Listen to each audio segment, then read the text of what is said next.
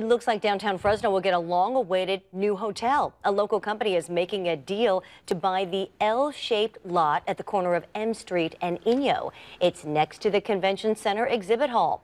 The city planned a hotel there a decade ago, but that deal fell through. Now, Fresno Mayor Lee Brand says the new plan will be a big boost. The city taking a lot that's that, there's zero money in tax revenue that if you build a 200 room hotel there's 10 15 20 million dollars.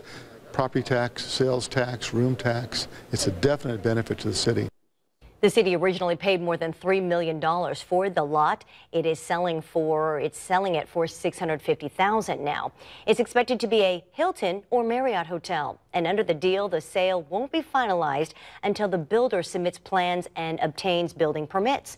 The builder has another hotel in North Fresno.